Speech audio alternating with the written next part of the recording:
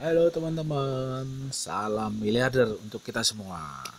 Oke, kali ini saya akan memberikan video tutorial bagaimana caranya memasukkan koin-koin kita yang kita inginkan ke dalam menu favorit. Jadi teman-teman tidak perlu masuk ke mana-mana, langsung aja jalan pintas ke menu favorit. Nah, di situ teman-teman sudah uh, mendapatkan informasi koin-koin Anda semua. Oke, langsung saja. Masuk kita menggunakan aplikasi toko kripto. Kita masuk ke akun toko kripto kita. Kita masuk ke market ya teman-teman atau pasar. Klik aja. Nah di sini ada favorit di atas itu. Fiat ETF BNB BTC favoritnya masih kosong ya di sini. Lalu saya ingin memasukkan koin-koin yang saya inginkan ke dalam favorit ini ya. Misalkan SRP BNB oke kita cari SRP BNB.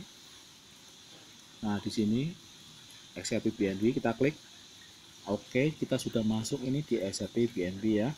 Nah, di pojok kanan atas ada bintang.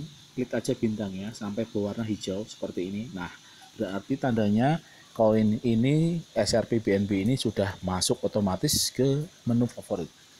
Kita cek favorit Nah, SRP BNB sudah masuk.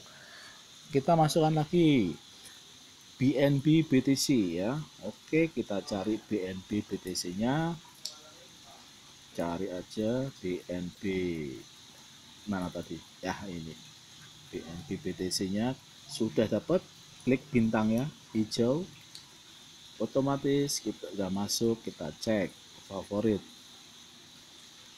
BNB BTC sudah masuk ya. Lalu kita memasukkan BTC USDT masuk aja ke fiat. Nah, USDT nya sudah hijau ini. Ya oke. Okay. atau kita menggunakan ini menu search itu pencarian eh, pojok kanan atas klik aja. SR apa tadi eh, kita mau cari SRP apa ya tadi ya? Kita mau cari SRP USDT misalkan ya. Ini ketika aja SRP akan muncul SRP USDT oke pilih bintangnya.